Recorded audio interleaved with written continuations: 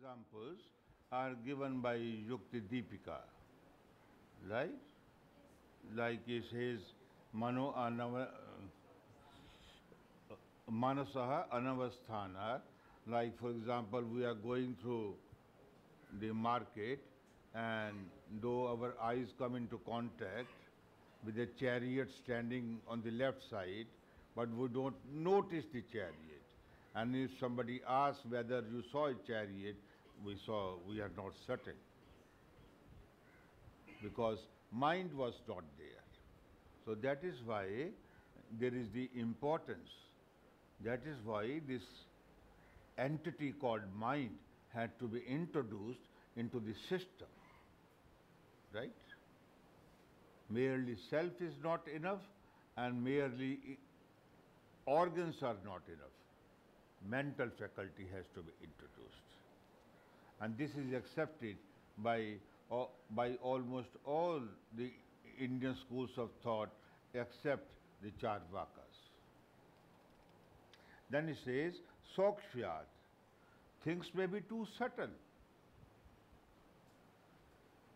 We are unable to see things, things are too subtle. For example, an eye surgeon who noticed that there was a cataract and it needed to be operated in my eyes could not himself see with his own eyes but had to use a certain instrument. I can't see the cataract in my eyes. I can feel the pain or its effect, but I can't say whether it's cataract. You see the difference. Sometimes we confuse one category with another category. Right? Merleau-Ponty, Maurice Merleau-Ponty, wrote a book called Phenomenology of Perception. I wonder whether you have heard of him. Please give me your attention. I wonder whether you have heard of him. He gives you an example how, how consciousness works. He says you are sleeping. You are deep asleep. An insect comes and bites, say, for example, at the middle finger of your left foot. Bites at the middle finger of your left foot. बाएँ हाथ की तीसरी उंगली पर कोई insect जो है कोई कीड़ा जो है काट लेता है and you feel the pain where does your hand go towards the back in sleep. You are sleeping. Precisely at that very finger itself you don't confuse between the second and third finger. Say it, it might have been the second finger. Let me scratch my second finger. But the pain continues. So do, you don't have to draw inference where it could have been you know bitten. Which finger could have been bitten? How do you infer? By opening the brain? By opening the brain? And then seeing the X-ray? X-ray won't show anything. MRI? No. MRI can diagnose what's the problem. It cannot show your pain, you are being sad. It's not the brain which is sad, it's me who is sad. It's me who is sad. There may be a corresponding change, you know, in my structure, in my brain structure, a corresponding change. My sadness may get registered in my brain. That is understandable. Just as my anger, inner anger, which is a internal state, can manifest itself in my bodily behavior. Right? Similarly, he says, Saukshmyat, there can be things which are very subtle and you can't see them. For example, the atoms. Atoms. Or anything going on inside my body. They are subtle for me. At least they are for me subtle. I don't always see my, I don't always look at my kidney or lungs or heart or this liver. I have to get them tested to see how they function. I don't know how they are functioning. Though there are external symptoms. If all is going well, there are no problems, then I conclude probably there is nothing wrong with me. So Shakespeare, we are not able to see certain things through sense organs because they are too subtle. Vyavadhana, or because there is obstruction. Because there is obstruction. I can be able to see the sound of the drum coming from afar, from afar, say about a furlong, but not be, not be able to see a pot which is, which is behind this wall, which is behind this wall, because there is an obstruction. The wall is not able to obstruct my perception of the sound but it is able to it is able to obstruct, to cause impediment to my perception of the pot, which is on the other side of the wall. Vyavadhana, impediment, obstacle. Do you follow? Hmm? Anybody who disagrees with this proposition? Abhibhavat. Or I may simply be dazzled when I'm driving, as I often do sometimes, as I sometimes do, if the car coming from the opposite side and its, its lights are too dazzling, I'm unable to see what's going on, what's going in my front. I'm too dazzled. Or sun, for example. If I'm seeing towards the sun, I may be dazzled. Dazzled enough to see any object which is quite close to me. Abhibhavat. I'm overpowered. Overpowered. होता क्या नहीं होता क्या नहीं ऐसा क्यों भाई समाना विहाराच and then he says samana viharat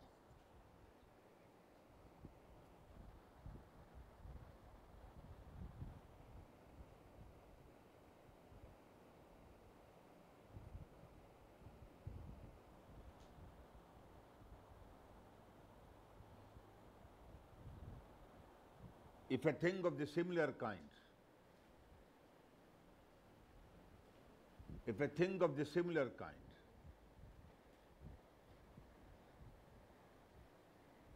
gets mixed up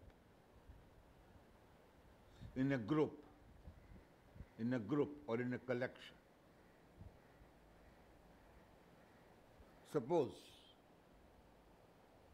I take a drop of water I take out a drop of water from this glass and put it back in the same glass. Can you find that drop of water?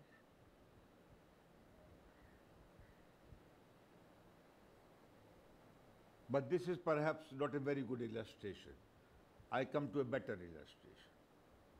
Suppose there's a, there's a collection of bricks bricks, you are constructing a building, there's a collection of bricks.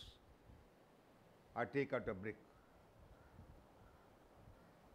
I take out a brick and then throw it back into the collection. Do you think I'll be able to find it?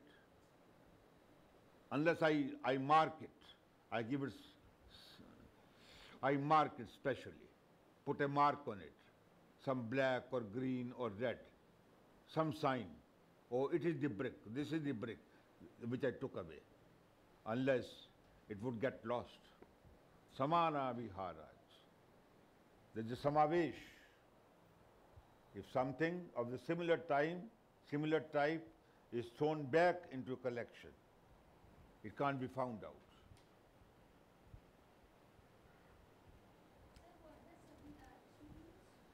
Huh? Abhihar? Samana.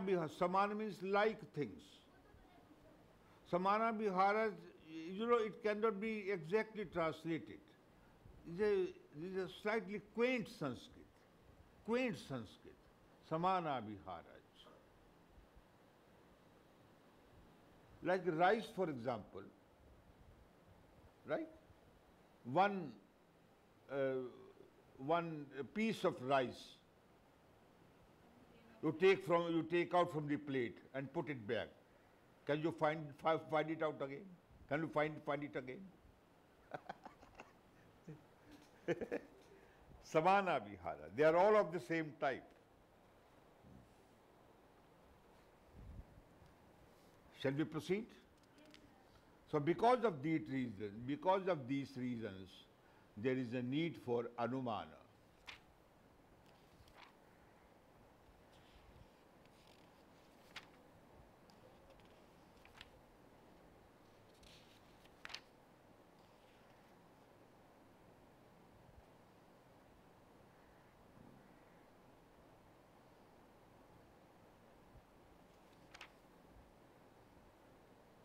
Now comes the important karika. This is karika number. Which is this karika? Please show me. Yes. After this eighth, which is the eighth karika? Yes. Soksha tad anupalabdir na abhavat karyatah tad upalabdi महदादि तच्च कार्यम प्रकृति विरूपम स्वरूपम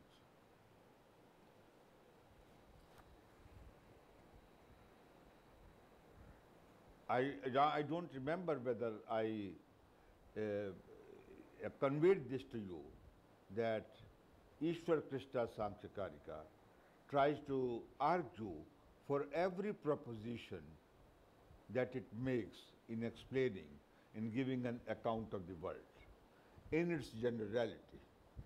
Metaphysics can give only a general account of the world, of reality, not a specific account. It cannot give an elaborate account of the specific details of everything. Just as not one scientist or not the whole lot of scientists put together can tell me what are those electrons or protons of which I am constituted. They cannot tell me. They can only tell me the general conclusion that I am made up of electrons or protons or whatever, or whatever they name to uh, give to the subtlest particles, the fundamental particles. They can't tell me. They can't tell me why I am miserly.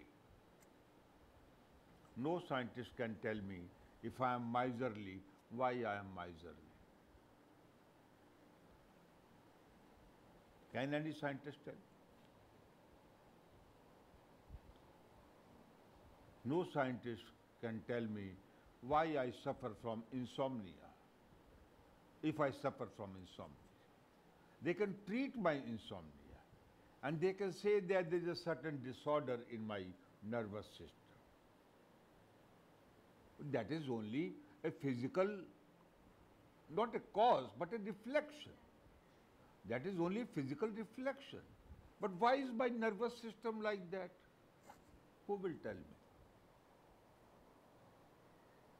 I wait for some such scientist and doctor to come and tell me why I am predisposed, why I feel disposed to behave in certain manner in certain, certain, certain circumstances. Why I have a weakness for certain things, and while, uh, why I have the strength to resist certain other temptations.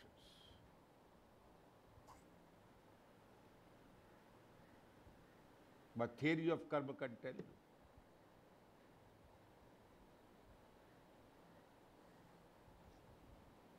Theory of karma can give you. Science can't. The theory of karma has to be carried to its logical conclusion. If in this life we see some of our actions bearing fruit, how can we theoretically, in principle, deny that any deed or action done, done by me has to bear fruit sometime or the later and sometimes mean perhaps in the next birth, if not in this birth? How can we stop the causal series arbitrarily? No. All your actions or the fruits they can, they bear or do not bear are confined to this life. Why? This is a very arbitrary ruling.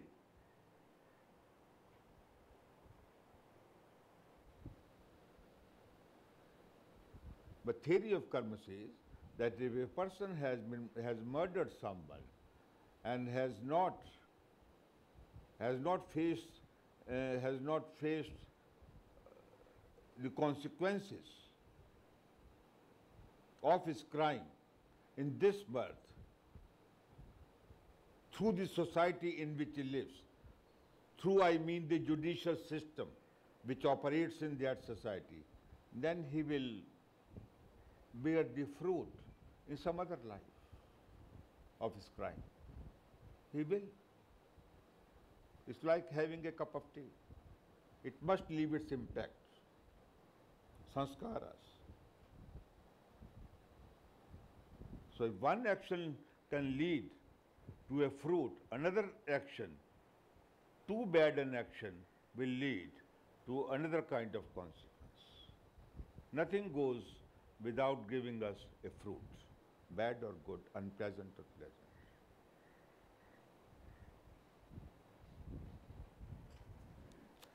Now he says, Sokshma tad anupalabdhir na abhava. Now he has explained that certain things are inaccessible to us perceptually because they are subtle. Sokshvyat, he has said that. So he says, tad anupalabdhir na abhava. Prakriti, prakriti, pradhana, mool prakriti is anupalabdhir, tad anupalabdhir, tasya anupalabdhi. There is inaccessibility of prakriti through the senses because prakriti is too subtle. Na abhavat, not because prakriti is non-existent. Anupalabdhi and abhava are different. Things may be inaccessible.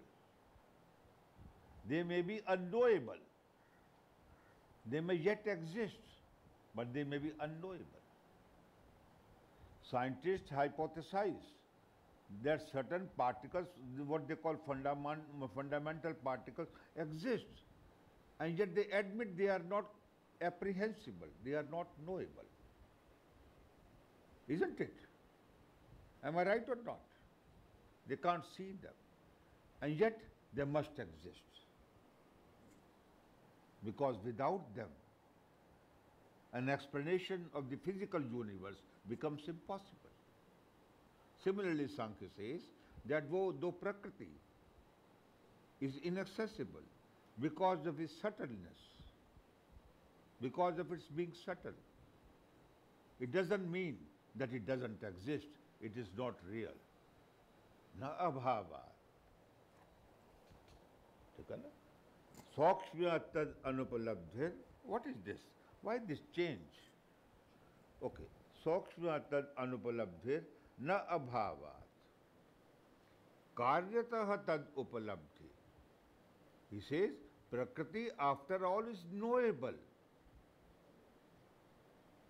is not perceptually knowable because of its too subtle And I have already said, Ishwar Krishna says, that there are things which are invisible because of their subtleness. So Prakriti is invisible because of its subtleness. not because it is non-existent, because it, its existence can be known through karya, through its effect. Karyataha, through its effect. Karya means vikar or effect or consequence. Right? Just as in Nyaya Vaisheshika, the Nyaya Vaisheshik thinkers like Udayan, for example, give the existence of the world as an effect, the argument for concluding to the existence of God as a creator. Because there is an effect, there must be a cause. And because causal series regress, regress, regressive series must stop somewhere, there must be a first cause, and that is God. And He must be omnipotent and omniscient. Karyatah tad upalabdhi. Because we see the manifest karya. What are those? He enumerates them.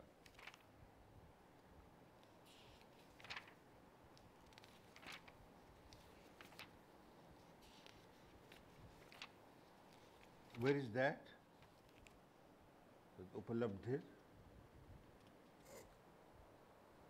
हाँ महदादी तच्च कार्यम प्रकृति विरूपम स्वरूपम च महदादी तच्च कार्य महत अहंकार एटसेट्रा आर द इफेक्ट्स तत् of that of what of प्रकृति and we see that is we feel we know we are aware that there are manifest entities, manifest tattvas like Mahat, etc., which are Prakriti Virupam Sarupam cha, which are like Prakriti as well as unlike Prakriti, which are like Prakriti as well as unlike Prakriti. Sarupam, similar, same character, same character.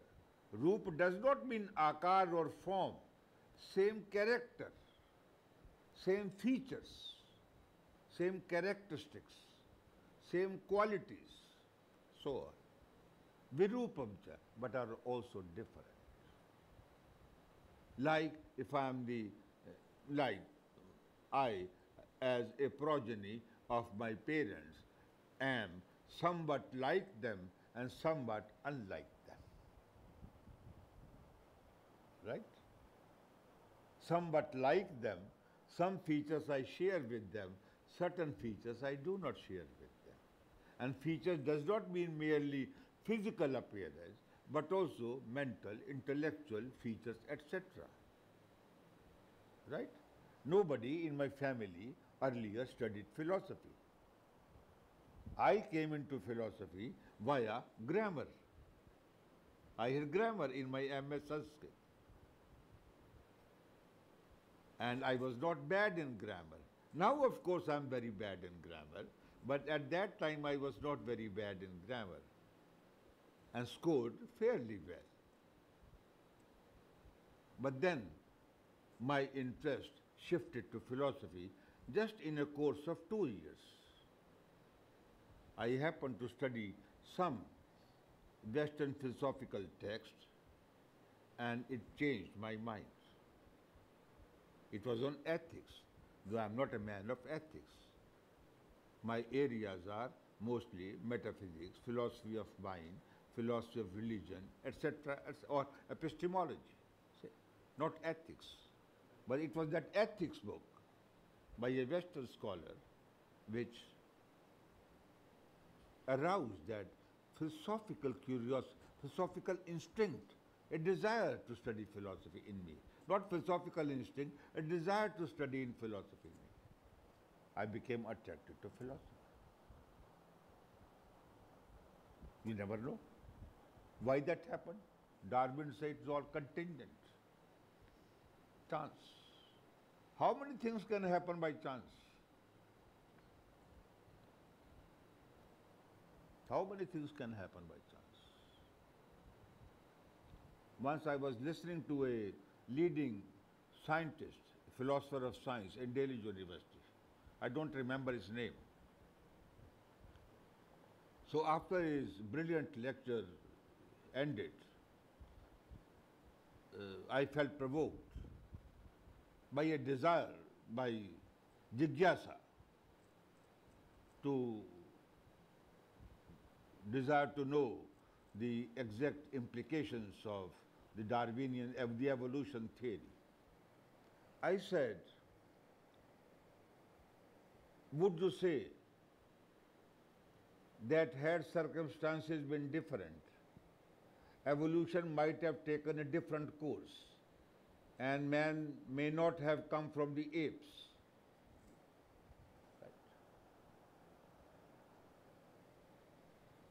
And man may not have come from the apes. If things are happening by chance, then it's possible that man may not have come from the apes. Then from which animal might it have come?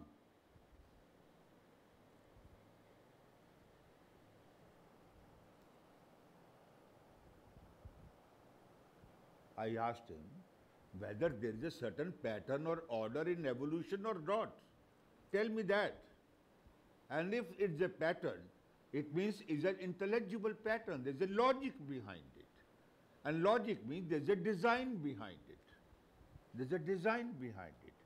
So St. Thomas' argument for God from on the basis of design argument is not a bad argument or Nyaya argument is not a bad argument.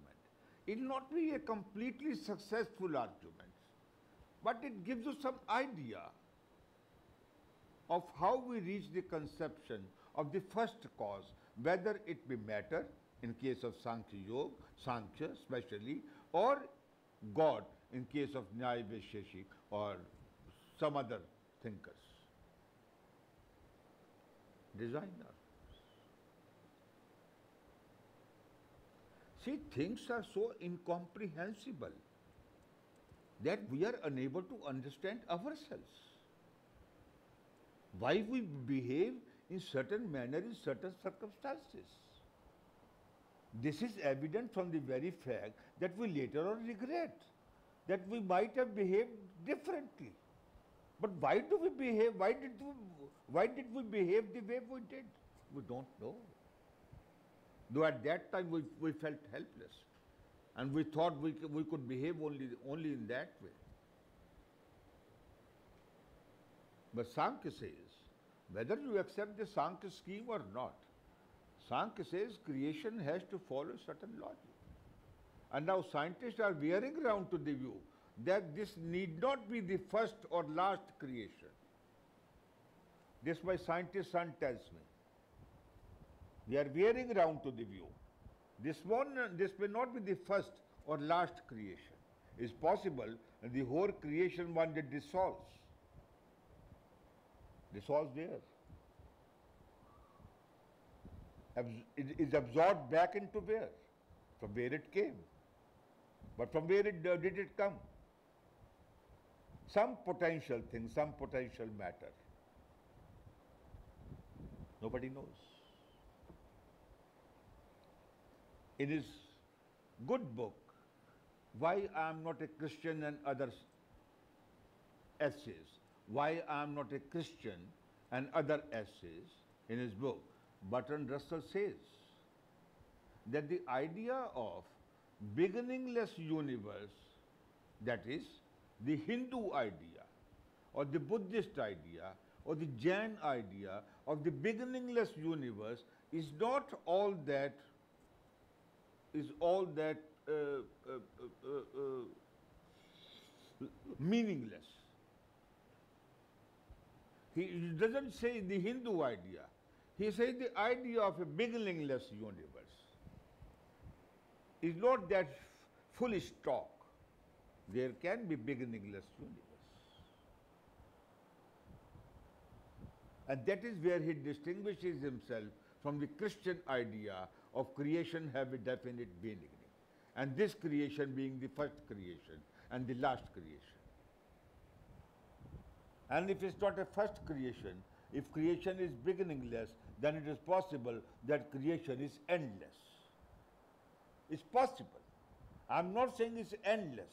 I'm saying it's possible that it is endless.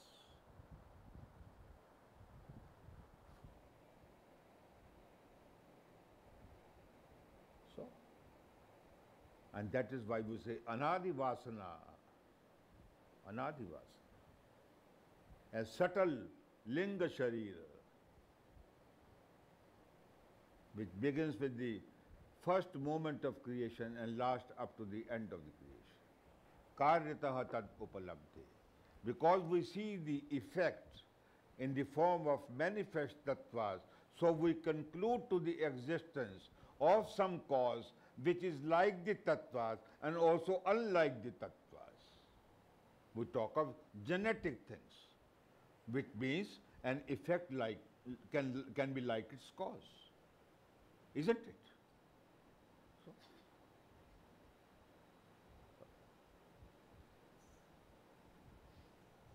why do we talk of genetics at all? If, if an effect, or of course, in theory, an effect need not be like its cause. But at the same time, the possibility can't be ruled out that an effect can be like its cause. At least some effects can be like its cause. Isn't it? I'm like my parents, for example. I'm their effect.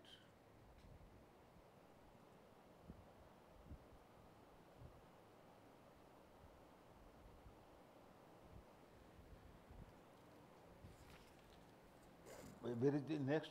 Mahadadi Tachaka. Yes, this we have done. Okay. Let's move ahead. We have time still.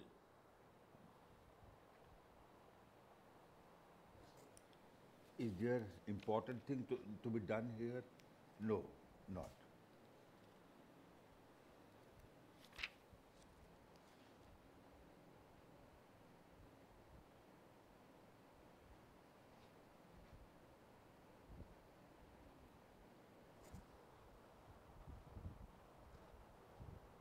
Yes, yes.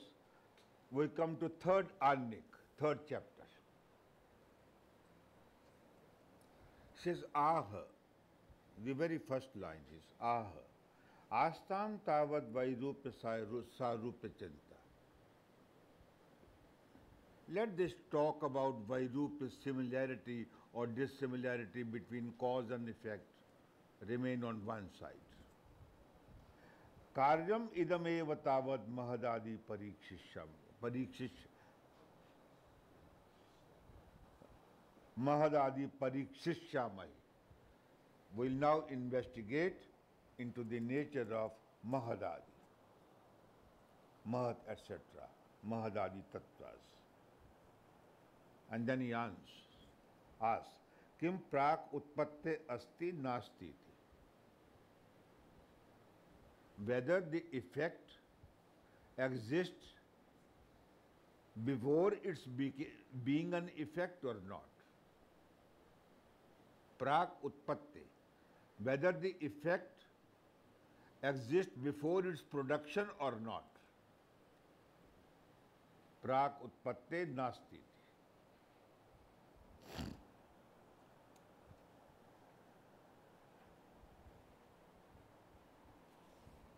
विशेष कुत संशय इत चेत says why are you asking this question comes to next line उच्चते अस्थि संशयावकाश there is a room for doubt there is a room for challenging the proposition any proposition on this कस्मात आचार्य विप्रतिपत्ति because acharyas, thinkers, disagree on this question. Prag utpatte karyam asad iti acharya kanad akshapad prabhritayo manyante. There are acharyas like Kanad and Akshapad. Kanad, the first philosopher of the Vaisheshik schools, first known philosopher of the Vaisheshik schools, and Akshapad Gautam, the first known philosopher of the Nyaya school. They believe, manyante, they believe, they opine that prag utpatte karyam asat, that an effect does not exist before it's coming into being. मतलब ये है कि कार्य की, कार्य बनने से पहले सत्ता नहीं है। आम का जो फल है, वो फल बनने से पहले उसकी सत्ता नहीं है। सांख्य ये मानता है कि आम का जो फल है, उसकी पहले से सत्ता विद्यमान है बीज के रूप में, बीज में। इसलिए आम के बीज से आम का ही फल निकलता है, खरबूजे का नहीं निकलता। ठीक। The effect exist prior to its being called an effect in a latent form in its cause but Akshapada and Kanada believe otherwise. This is, these are two views. They agree on the same point that effect is always a new creation. That is why they call Arambhavad. Arambhavad. With an effect coming into being, we have a new beginning. We have a new beginning.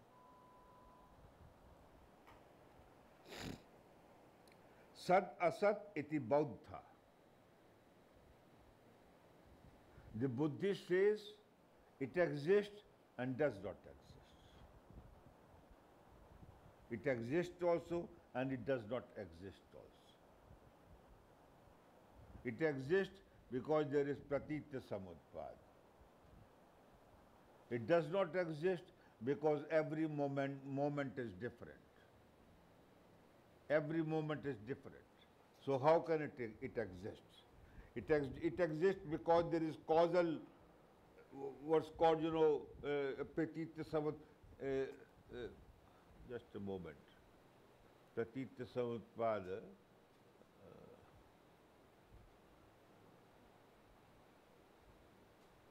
Yes, dependent origination. Dependent origination. Yes. Depend. I was missing the word. Though I very recently completed an article on Nagarjuna and sent it for consideration for publication. And I'm missing on missing on certain things. Sorry. So dependent origination. The things arise, originate dependent, depending upon certain causes and conditions. Those causes and conditions are necessary And yet they, so it means that they exist before that. And yet they do not exist because what comes into being is entirely, it, it comes at a moment which is entirely different from the previous moment. नैव सत न असत इति अन्य and some people believe naiva sat na asat. Is neither existent is neither existent nor non-existent. Tasmad upapanna sanshaya. Therefore doubt arises questions arise on this very important issue. Ordinary man would again say why are you wasting your time banging your head on problems which do not exist? But problems exist. Science faces this problem. Any inquiry which is systematic, any inquiry which is systematic faces problems. Only haphazard thinking does not face problems. It finds convenient pragmatic solutions. चलो ये कर लो ये भी ठीक है वो भी ठीक eh? and we are able to pass life, spend life happily. Happy beginning, happy ending.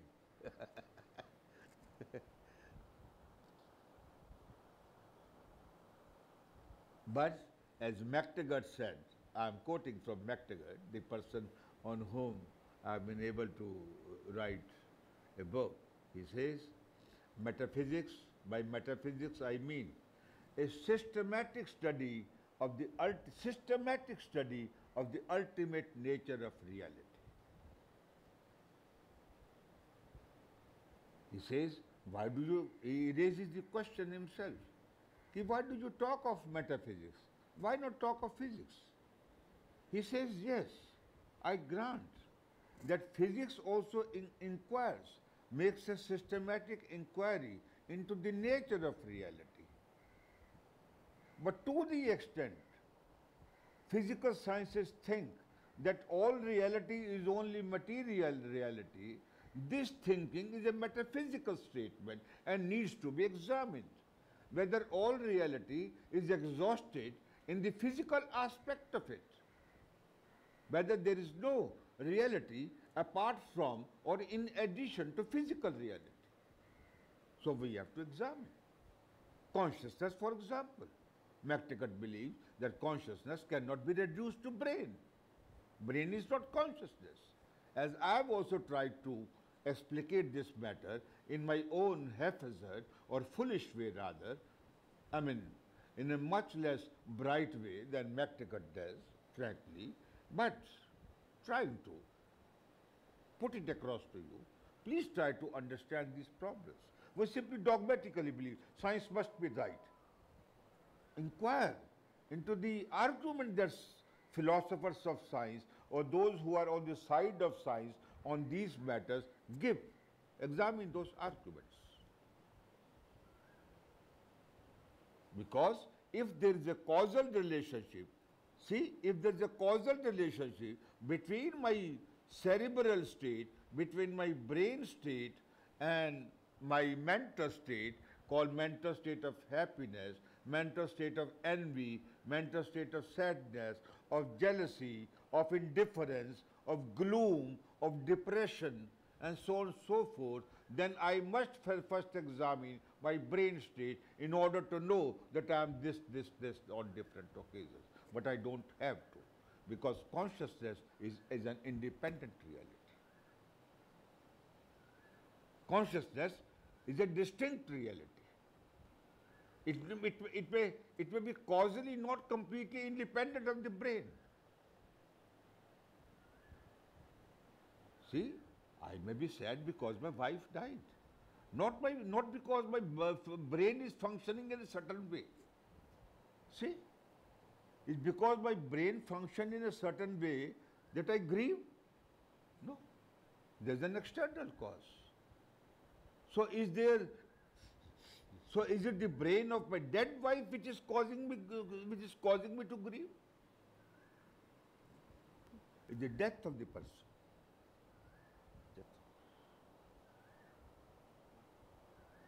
So let us try to systematically study things and draw distinctions, important distinctions where they need to be drawn, and then draw adequate conclusions, which we think seem to follow from those. All right?